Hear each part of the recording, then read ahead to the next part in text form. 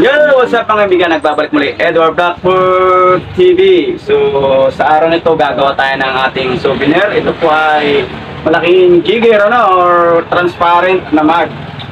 So, ito po, ito po yung mugs. Box. Nandun sa loob yung ah, transparent mugs. Sa jigger na malaki. Ito po siya. Yan, ano.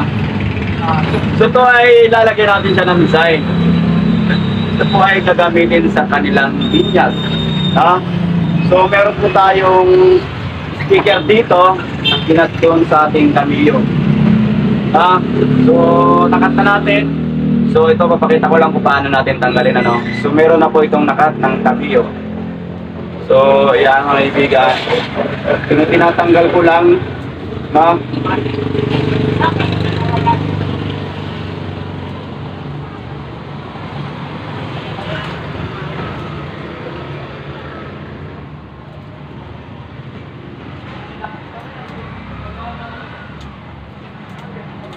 Ito na mga kaibigan.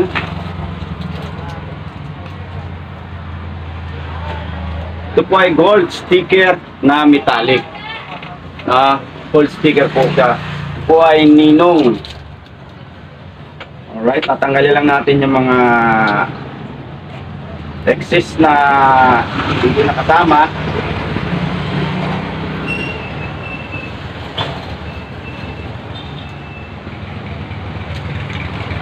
So it- ito na siya mga kaibigan. So yan, ninong siya. So dito, paano nga ba natin siya may lilipat dito? Itong sticker. Kasi ito, cut out to, hiwa-hiwalay. So, ang gagawin natin ay gagamit tayo ng ating transport tape. Ito po ay transport tape. Ang trabaho niya ay idikit niya yung mga bagay na makakahiwalay para mapagsama-sama niya. No? Hindi to basta ordinaryong tape po mga kaibigan. Transfer tape po ito. Kuha lang tayo ng sukat lang. So ito na po, Nino, ano? So ilalagay natin dito. Tapos, haguin natin. Squeegee. Kung wala kayo nito, pwede naman kamay o basahan. Ganun-ganun ninyo lang hanggang sa kumapit. Ano? Kailangan naman ito ma kumapit lang dito sa transfer tape. No? So, yan. Kaya tinawag na transfer tape. Kung may mangyayari yan, oh, yan. Yan mga kaibigan. So, nalipat na dito sa transfer tape. No? Yan. Gold. Gold. So, naka-mirror video tayo kaya ka- nakabaliktad siya. So ito yan. So dito natin ilalagay siya sa side. Ha? Kasi yung design niya ay butas niya nandito rin sa side. So kailangan nakikita siya. So ilalagay lang natin ganyan. So nasa inyo kung paano na paano nyo so ilalagay ano. Discardin nyo na lang. Pwede nyo i-ganyan. Patong lang dito. Tapos titingnan nyo lang kung pantay. So madali lang, easy-easy lang ito mga kaibigan. So ayan, dinikit ko na. Baka itikit pa ng iba mga kaibigan. So ito na siya.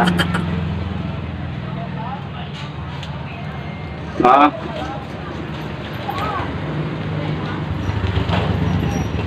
So dandahan lang. Sumakapit ang ating transport tape kaya sumakama siya. Dandahan lang. Ah. Ah, alalayan niyo siya ng kamay para hindi sumama sa transfer tape. Kasi talagang hindi maiwasan yan. Alright, pag nagdikit na, so ito na siya. Saka nyo dindinan.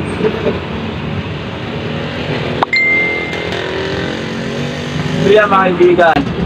Ah. Ah, ninong. Ah. Ninong, alright mga kaibigan. So ito na ang ating sticker para dito sa ating bag. Transparent bags or sticker na malaki. So ganito po yan. So yan, nasa loob na siya. So dito, meron din itong sticker din. Ha? May design dito para presentable. So yan, meron tayo ditong sticker na na print na. Ito po ay ordinary na sticker lang po. And kahit hindi siya waterproof kasi dito lang naman siya. Isang gamitan lang naman, ano.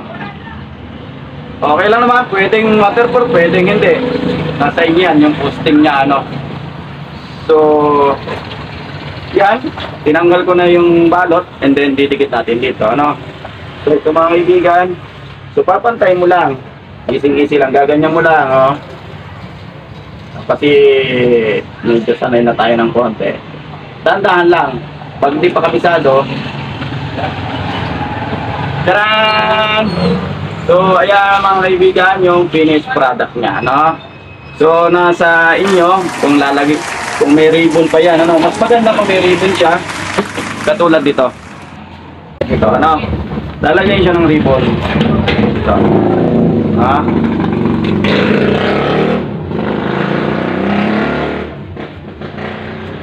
Susukatin nyo para